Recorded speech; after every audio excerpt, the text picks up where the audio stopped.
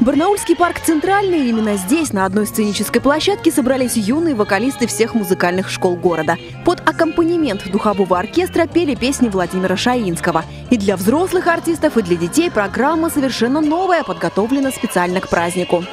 Когда мы начали с ними разучивать, они с таким энтузиазмом начали их петь, потому что это, конечно, наше детство Шаинский, а для них это звучит свежо.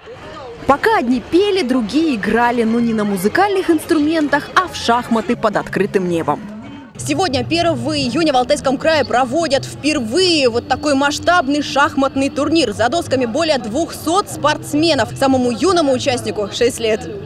Во всех парках Барнаула, на концертных площадках, в торговых центрах города и музеях краевой столицы отмечали сегодня День защиты детей. А наша съемочная группа в очередной раз задалась вопросом, так от чего или кого, по мнению взрослых, необходимо защищать детей.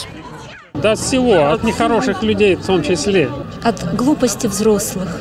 Детям любви побольше дарить. Вот они и защищены будут.